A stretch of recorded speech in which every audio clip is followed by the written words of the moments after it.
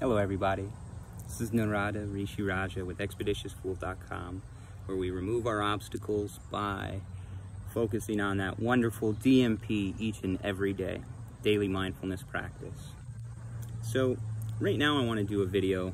Um, I just got back from the used bookstore and uh, I was there. Uh, I was sitting and I was reading uh, copy of the Bhagavad Gita. Y'all know I talk about that a lot. Um, and a lady came in. My son opened the door, held the door for her, and she made like a, a beeline straight to me sitting there. She goes, What are you doing? I was like, Hey, I'm reading. And she goes, Well, what are you reading? I said, The Bhagavad Gita, the Song of the Lord. And uh, she started telling me a little bit about her heritage, um, which didn't really go into the conversation, but uh, then she she said uh, she's like, now the reason why I I hate God is what she said is I really want this question answered. And she came in and she's in her late 60s and she had a cane. She has scars from here all the way around.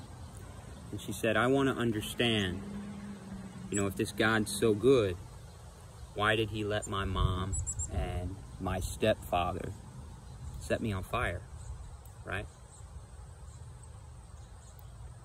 And I knew what the situation was as soon as it came in. She requested a meeting with God. So she wanted to tell God how upset she was. So I let her. Then, in my way, I explained to her that these challenges that we go through, even when they seem totally unspeakable, you know, they they get brought on us when they're really bad like that. When you're a child and there's there's literally nothing you you could do, right?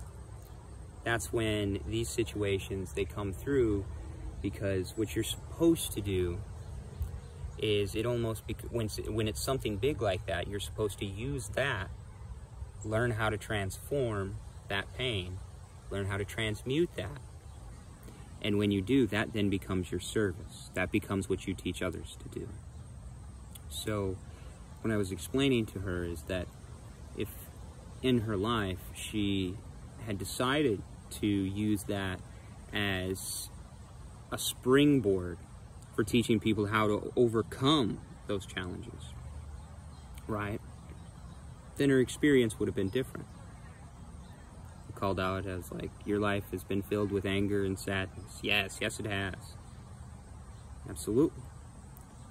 Until you learn how to transmute the challenges and the struggles and the sufferings that you go through, then it does feel like pain.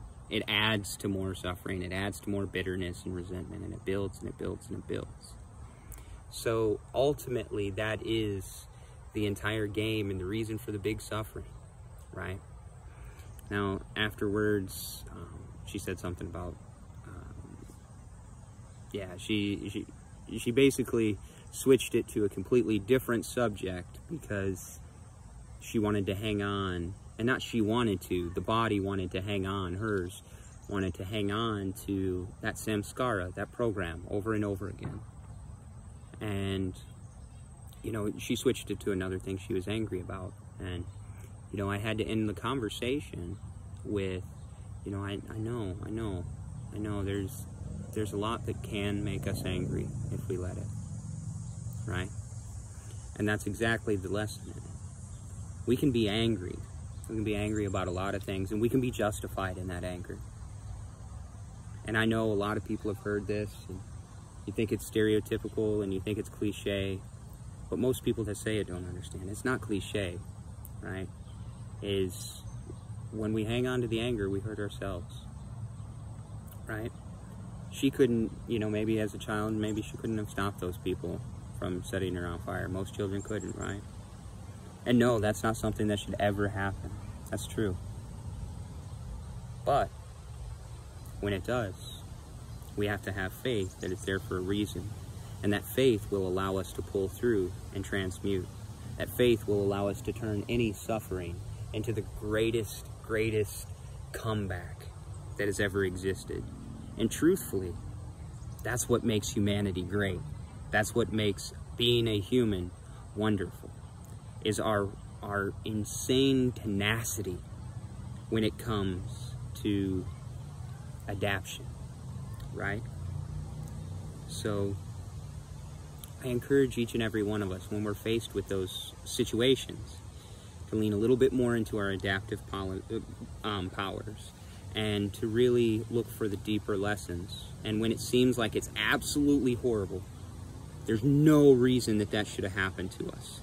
That's when we can know that there's a big clue there that this is going to lead to the work that we're going to be able to help others with. All right, everybody, I hope that this video helps. I hope it gives you a little bit more clarity. Have a great day on purpose and stay mindful, everyone. Namaskaram.